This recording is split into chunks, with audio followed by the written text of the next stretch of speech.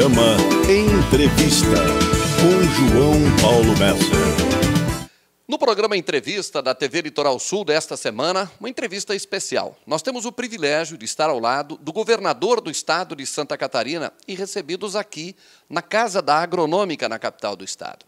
Vamos falar com Eduardo Pinho Moreira, esse lagunense, meio criciumense, esse sul-catarinense que, eh, nos últimos anos no processo político, tem sido, mesmo quando, eh, como vice-governador, tem sido anunciado, tem sido tratado como vice, como governador do Sul, pois tem abraçado causas do Sul e nós poderíamos enumerar várias delas. Hoje nós queremos saber um pouco mais do governador Eduardo Pinho Moreira, vivendo esse momento do governo. É pela segunda vez que o senhor é governador. Né?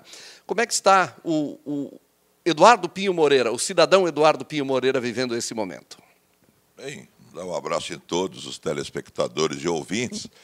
É dizer que estou super bem. Né? Eu acho que é uma missão que orgulha qualquer catarinense, é, dedicar, fazer o bem, fazer com que as ações elas é, tenham resultado rápido.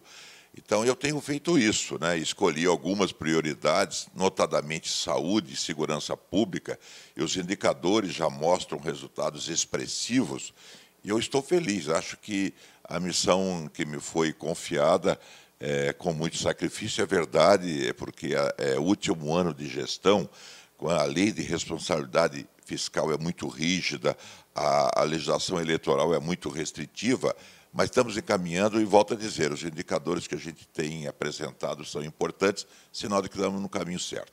O último ano é sempre um ano de ajustes, e, é, mas é um ano também que vislumbra a Ele virou o único ano do senhor com a caneta, especificamente como governador. O que, que o senhor tem conseguido trabalhar? Fechar o ano fiscal, é deixar a marca do governo, porque, afinal de contas, todos que passam por essa condição gostam de deixar a sua marca. Como é que o senhor está trabalhando isso? É um número interessante que você vai saber em primeiro. É, nós recebemos de restos a pagar 420 milhões de reais. O que é, que é isso? Dívida que o governo anterior, o governo do Raimundo, não conseguiu pagar em 2017 e que nós estamos pagando. Já pagamos 270 milhões.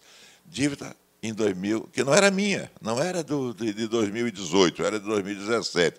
Só na saúde foram 90 milhões de restos a pagar. O meu desempenho tem que ser 14% da receita líquida do Estado, pois eu já paguei 90 milhões dos 13% que seriam em 2017. Essa foi uma herança que está dando muito trabalho, porque eu não posso deixar esse tipo de herança para 2019, por causa da lei de responsabilidade fiscal. Então, é um controle absoluto de gastos, responsabilidade imensa na gestão pública, e por isso eu estou diminuindo o tamanho do Estado. Estou diminuindo cargos, comissionados, funções gratificadas, já foram mais de 400, então. É, é esse o objetivo, para atuar e aplicar, porque o Estado catarinense, como qualquer Estado, tem que arrecadar para investir para a população e não só para pagar salário. No momento que são feitas revelações como essa, do que o senhor herdou para esse último ano do mandato, tem-se também uma outra percepção que é essa da, poxa, mas é o vice-governador, o senhor era vice-governador, o senhor estava no governo também. E o entendimento é de que isso fica como uma crítica, como se o senhor não tivesse estado no outro governo. Como é que o senhor é, não, reage a isso? Não é crítica, é uma constatação. Eu tenho que ser transparente, eu não posso é, dizer para a sociedade que não existem problemas. É, então, é isso que eu estou fazendo, mostrando com toda clareza, porque eu responderei perante o Ministério Público, perante o Tribunal de Contas do Estado, perante o Tribunal de Contas da União, perante todos os órgãos fiscalizadores. Vice opina bastante, mas não decide. A decisão é do titular. E isso é absolutamente correto, tem que ser assim mesmo. Agora, é, nós estamos com esse problema, a dívida da saúde, é, que foi anunciada pelo Tribunal de Contas do Estado, é de 1 bilhão e 83 milhões de reais. Como é que nós não vamos reconhecer isso? Né? Tem que dizer, a população tem que saber. Aliás, é, João Paulo, é, eu tenho que é, mostrar isso com muita tranquilidade. Eu quero dizer que eu tenho uma relação pessoal com o governador Raimundo Colombo, ex-governador, ótima. Mas não é isso que está em discussão. Né? Em discussão é a aplicação dos recursos públicos. E se o povo não souber o que está se passando, ele vai me cobrar lá na frente. O Estado de Santa Catarina está muito bem, é, gerando empregos, gerando desenvolvimento. Em 2017, fomos o estado que mais gerou é, empregos no Brasil, mais do que São Paulo em 2017. Esse ano nós estamos na segunda ou terceira colocação, conforme o mês. É, veja bem, de geração de emprego. Mas a máquina pública que não está bem. A máquina pública ela é inchada, ela é lenta, ela é burocrática, ela é cara. E qualquer um que for candidato às eleições tem que mudar esse perfil. Senão, no futuro, só vão pagar salário. Ainda nessa questão aí do, do, do, da administração, da situação do Estado é, e a, a, percepção que principalmente nós, do segmento político, temos quando sai uma informação como essa, que isso seja uma crítica ao antecessor. O senhor tem conversado com o governador Raimundo Colombo porque ele não tem se manifestado. Ele, o senhor sabe se ele tem se mostrado incomodado, como algumas outras lideranças do PSD têm se mostrado incomodado com essas afirmações? Não, eu não me preocupo muito com o partido político nessa altura do campeonato. Eu assumi o governo e assumi porque ele renunciou. Ele teve um gesto de vontade pessoal, de decisão pessoal. Eu assumi, conversei com ele inúmeras vezes, já faz uns 15 dias que nós não conversamos, cada um tem a sua agenda, é, ele está em pré-campanha, eu estou cuidando do governo, é, mas é, vou dizer, eu serei transparente em todos os momentos. Isso vai acontecer sempre, porque é, essa é, a, é, uma marca forte da minha administração. Né? a transparência. É, a questão do Fundan aí que você já ouviu falar, dizer, eu, eu, aquilo não aconteceu porque o banco disse que não atendia esse programa. Olha, o banco vetou, o governador sabia, porque foi negado para ele uma vez, duas vezes, cinco vezes, dez vezes, ele tentou até outro momento. Por que, que nós agora estamos conseguindo liberar os 723 bilhões do BNDES? Porque nós apresentamos programas e obras estruturantes. Então, essa semana mesmo eu recebi várias ligações, semana passada, do presidente do BNDES, é, de diretores do BNDES, dizendo, não, agora o projeto está sendo aprovado. Os outros não foram. Ah, o Eduardo é contra o Fundan. Não sou, não. Tanto não sou que, quando eu posso, ajudo os municípios. Agora, ah, tudo isso tem que ser muito claro, para que não haja dupla interpretação. Ah, um é a favor, outro é contra o Fundan. Não, os dois são a favor só que não existia recurso para atender. Né? Então, nós vamos usar para aquilo que, que, que, o banco exige, que são obras estruturantes que promovam o desenvolvimento. E a especulação de que viriam fundando o PMDB? Chegou até a ganhar apelido aí. Homem, é, se você souber, o Fundo Social, a previsão de receita dele para 2018, para esse ano, é de 104 milhões. E ele já estava todo comprometido quatro, cinco municípios tinham 90 milhões. Então, havia uma, um direcionamento forte para alguns municípios que são amigos do governador, eram amigos de, de políticos influentes. Não é justo isso. Então, eu estou simplesmente ajudando os outros municípios a atender a os seus problemas, mas com recursos infinitamente menores do que aqueles que foram anunciados. Uma outra situação muito delicada assim, que está no e, ar. E são todos os partidos, não é só do PMDB, tá? Perfeito. Tem uma. E com relação à reforma, a questão. O PSD reclama muito de ter saído os seus. É, essa questão de, de, de, PMDB. Como é que, como é que o senhor Olha, responde a isso, governador? Quem é que, que vai responder, como eu disse, perante o Tribunal de Contas, Ministério Público, sou eu? Então, as pessoas que estão em funções estratégicas têm que ser de minha confiança, e não do PSD. PSD é meu adversário, eles iriam estar aqui dentro me prejudicando. Então, ficaram vários do PSD, que são aqueles que são leais, que têm projetos técnicos, têm projetos verdadeiramente voltados para Santa Catarina e não eleitorais, porque o PSD diz, é, eu acho que, acho não, tenho certeza que nós não estaremos juntos nas eleições desse ano, PMDB PSD, então não é justo que eles tenham, estejam em funções estratégicas que possam vir atrapalhar. Ou seja, essa situação toda ela foi uma construção da iniciativa do PSD de lançar candidatura. É. Não, não é lançar candidatura, é agredir o PMDB. Quantas entrevistas você teve que, não, com o PMDB nós não estaremos, com o PMDB nós não vamos por isso, por aquilo. Entendeu? Porque o natural, João Paulo Messer, é que o PSD estivesse conosco. Ora, por que, que nós votamos no PSD para senador e duas vezes para governador? Havia, com certeza, um comprometimento de que agora nós continuaríamos essa gestão invertendo as posições. Será um, foi assumido junto ao Luiz Henrique. E tem testemunhas, Eduardo Moreira, Cacildo Maldana, Luiz Henrique morreu, mas eu e o Cacildo estamos por aqui. Então, é, essa é a verdade. Eles resolveram ter voo próprio, o que é absolutamente legítimo, mas não reclame de nós. Nós tentamos até o último momento, eu tive, eu falei para ti várias vezes que esperava, ainda tinha expectativa que estivéssemos juntos. Agora sou rigorosamente cético, não estaremos juntos. Todos imaginavam, para quem acompanha o processo político, que o senhor e o Raimundo Colombo, até nós usávamos a expressão, eles têm uma carta na manga que, ao chegar na última hora, haverá um entendimento entre PSD e PMDB. Entrou que ruído aí nesse processo? Entrou, a, a culpa foi do governador Raimundo Colombo. Ele, é, ele era, era o grande líder do PSD. Ele, ele era o homem dono dos votos, dono do poder, ele era o governador, dono da caneta na mão.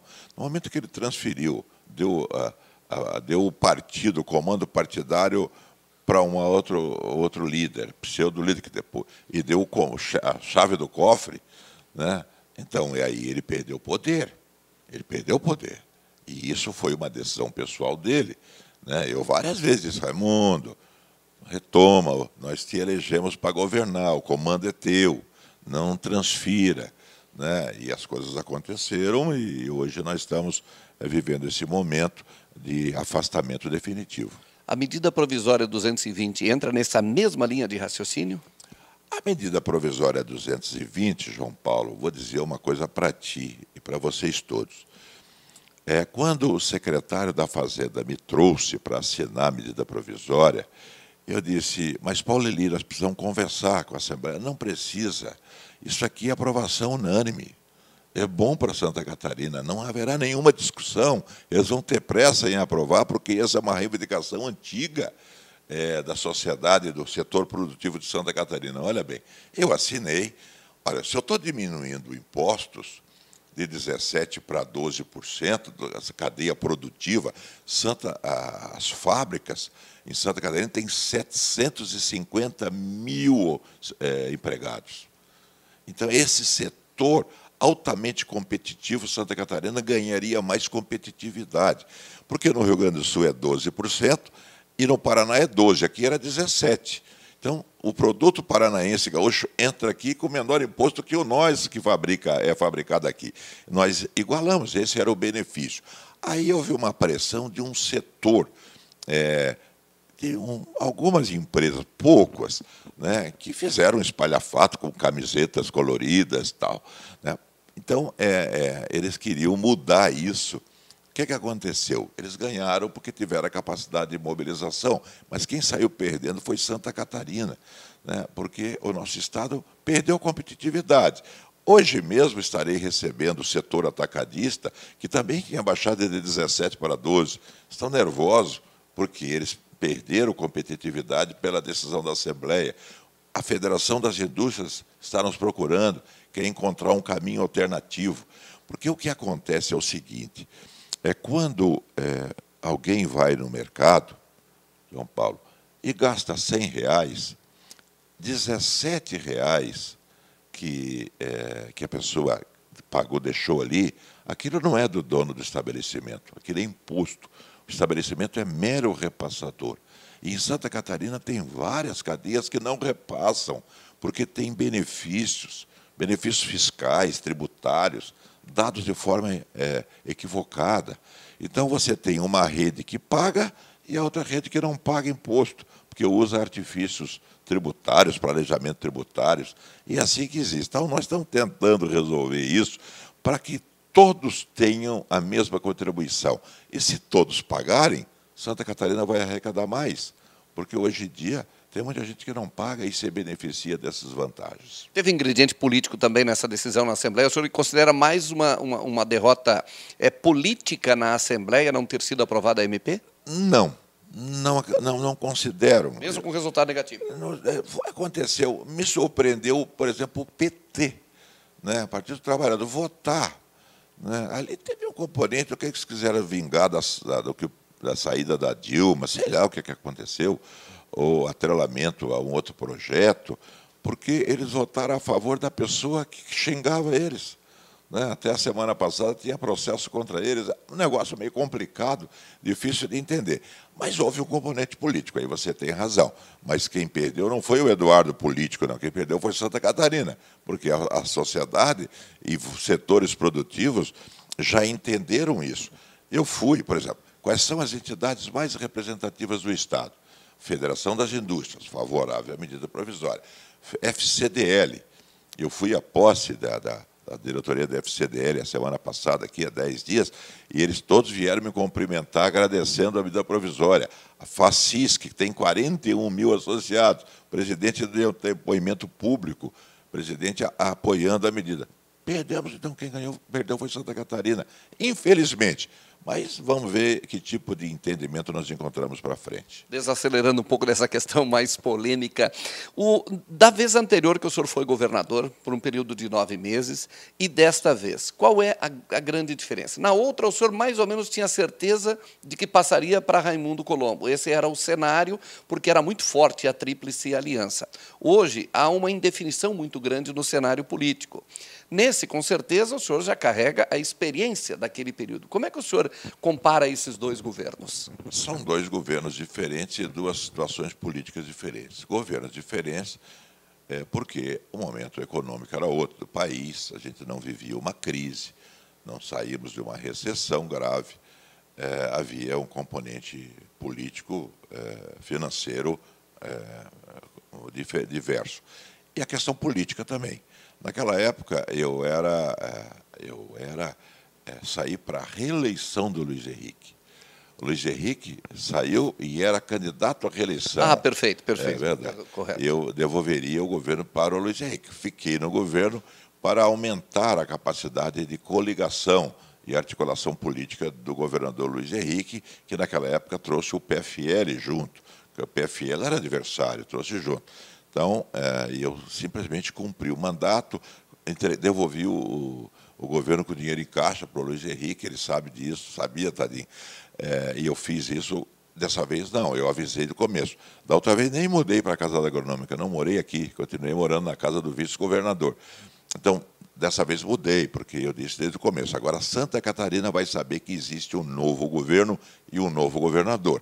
E eu dei mostras disso com mudanças, com ações, com, com prioridade em setores vitais do, da sociedade catarinense. Então, as pessoas já perceberam que há um outro governador num ritmo bem mais forte. E com relação à eleição 2018, em que momento? O senhor disse que maio tem que o PMDB precisa definir, mas hoje o PMDB, a definição está na sua pessoa? É o senhor dizer que vai ser candidato ou não? Ah, veja bem, é, eu só posso ser candidato a governador nessas eleições, não posso ser nenhum candidato a nenhum outro cargo. É, nós estamos conversando com partidos da busca de coligações, é importante que a gente converse. Né? Ninguém mais pode concorrer isoladamente.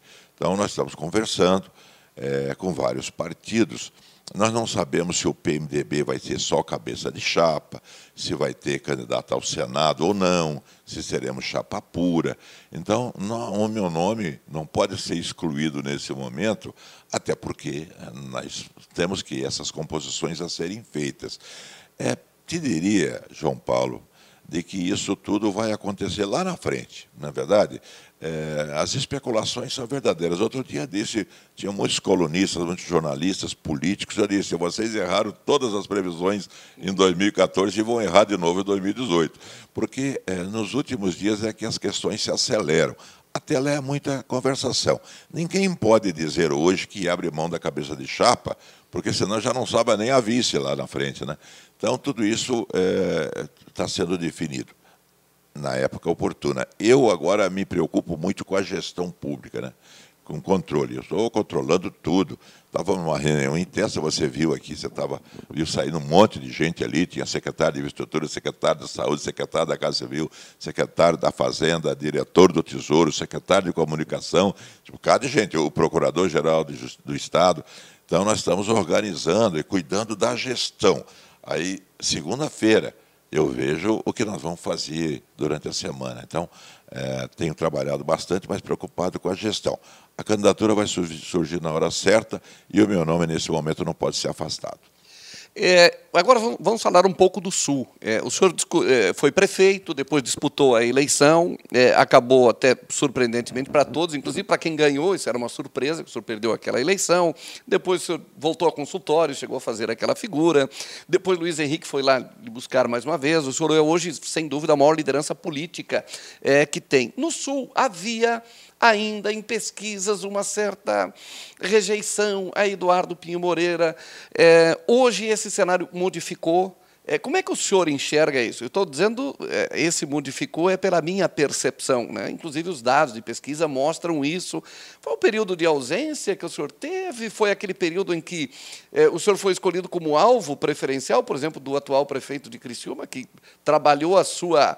É, subiu, subiu os degraus da pesquisa justamente batendo em cima do, histórico do PMDB, o desgaste do PMDB. Como é que o senhor avalia hoje esse novo cenário que tem no Sul? Porque, afinal de contas, são várias obras que estão lá no Sul, isso foi muito bem recomendado como obras atribuídas ao governador, governador do Sul, Eduardo Pinho Moreira. Como é que o senhor se insere nesse processo, que o senhor tem dados informações aí do Sul? Claro. Não, primeiro, eu sou do Sul, nasci em Laguna, né? casei com uma tubaronense, que Infelizmente, eu ia falecer há cinco anos atrás. E fiz a minha carreira profissional em Criciúma. Fui muito bem recebido em Criciúma quando cheguei é, no meu primeiro dia de trabalho como médico em Criciúma. Foi na noite de Natal, 24 de dezembro de 1974. 43 anos atrás, eu cheguei para trabalhar como médico em Criciúma. Era um garoto de 25 anos de idade, eu tinha formado com 23, já era cardiologista, tinha formação. É, e a cidade me abraçou. Né? Eu fui super bem em Criciúma, feliz. Meus quatro filhos, nossos quatro filhos, nasceram em Criciúma, e eu fiz essa carreira política, é, a carreira profissional.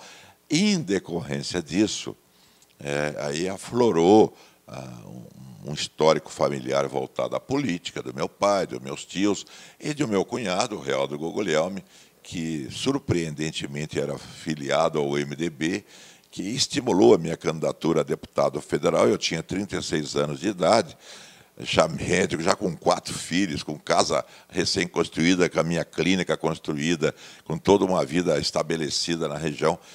E aí é, acabei indo, né? motivado por uma certa curiosidade, por vontade de participar. E foi exitoso. Eu fui o deputado constituinte, depois me reelegi deputado, depois fui prefeito de Criciúma, saí com uma excelente avaliação, é, elegi meu sucessor, que foi o Paulo Melé. E em 2000, é, eu estava tão bem de volta na medicina que eu não queria ser candidato, não queria, não queria ser candidato a prefeito. Aí é, acabei sendo candidato. As circunstâncias políticas não permitiram que o Paulo fosse candidato à reeleição. Estava bem, e eu fui. E acabei pagando uma conta que não era minha. Mas, de qualquer maneira, Deus escreve os certos por linhas tortas. Eu não estava motivado para ser prefeito no ano 2000. Né? E aí, em 2002, o Luiz Henrique me ligou. Dudu, ele chamava, né? Dudu, tu tem que ser meu candidato a vice. Aí a Ivane, na época disse, Eduardo, vai candidato. Acho que tu vai ficar mais feliz lá, se tu for vice-governador. E vocês vão ganhar. O povo não quer mais saber de Bornaus e de Amin. Expressão da Ivan na época. E nós tínhamos 5, 6% da pesquisa, o Amin tinha mais de 50%. Né? E nós ganhamos as eleições fruto da capacidade de trabalho do Luiz Henrique. Isso tudo. Depois, é verdade, é, eu fiz muitas ações em Criciúma. Muitas, muitas. Sempre atuei muito, sempre voltado. Mas eu tive ausência física eu deixei de ir a Criciúma, eu deixei de ir nos casamentos, porque meus quatro filhos moram em Florianópolis, meus cinco netos, agora o sexto está vindo aí, moram aqui. Então, eh, eu deixei de ir a Criciúma e houve uma campanha difamatória contra mim, é, enfim, um monte de equívocos que o tempo mostrou que não existia. E isso passou. Eu acho que a vida é cíclica mesmo, de altos e baixos.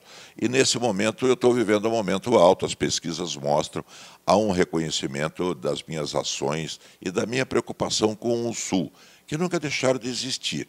Mesmo a minha sobrinha, que mora em Cristina, Beatriz, ela me disse uma vez, tio, Sabe por quê? Tu é igual o, filho que dá dinheiro, o pai que dá dinheiro para o filho, mas não dá carinho. Então, você ajuda a Criciúma, mas não dá carinho. Então, você precisa fazer carinho, ir lá no cafezinho, andar na rua. É o que eu fiz um pouco mais, mas ainda estou devendo ter mais participação lá. Para finalizar, dentre tudo aquilo que o senhor pretende deixar, independente de concorrer à reeleição ou não, mas ao término desse ano, dá para é, dá contabilizar uma dessas questões, essa sua é, melhor relação com a cidade? Não tenho dúvida. É, eu, eu, só eu fiz obras. Eu, isso soou prepotente, né? Só eu, depois do Manique Barreto, fizemos obras voltadas à mobilidade de Criciúma. A Avenida Chile, hoje Gabriel Zanetti, que não é Gabriel Zanetti, é, é Gabriel, Gabriel Zanetti, Zanetti que eu abri, consegui cortar, e o Paulo Meller concluiu, o sistema de transporte coletivo de Criciúma, que ainda é o melhor de Santa Catarina depois de vinte e poucos anos, e o anel de contorno de Criciúma, eu fiz, eu, Eduardo, comecei, fiz as pavimentações, os projetos, eu era vice-governador do Luiz Henrique, nós fizemos, a Via Rápida está lá. Então, é, fiz isso por gostar, por carinho e por conhecer a cidade nos seus pormenores. Né? Então, tem mais algumas ações. Eu vou deixar algumas ações na região neste ano, voltadas notadamente para a área da saúde.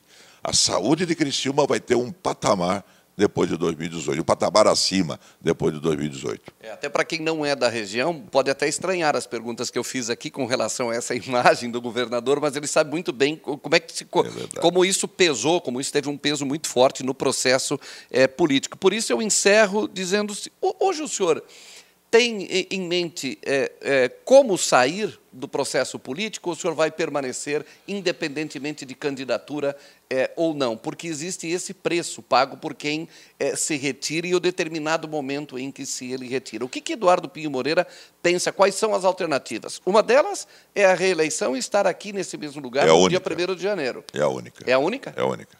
Se não for isso, eu vou me dedicar à iniciativa privada o meu casamento relativamente recente, vai fazer oito meses, né, uma nova etapa da minha vida. É, voltaria, eu tenho filhos médicos, é, que eu posso ajudá-los aqui na região de Florianópolis.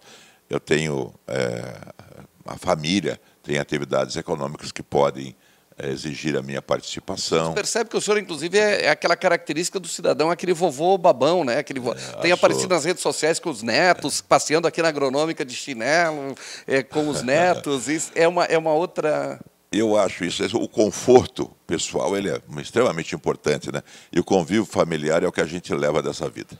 Muito obrigado pelo privilégio da entrevista. Obrigado. Obrigado, obrigado a todos.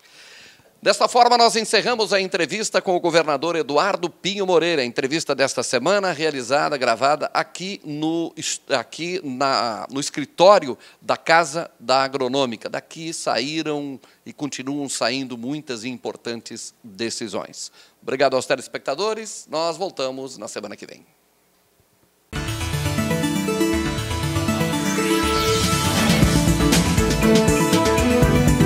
Programa Entrevista com João Paulo Messer.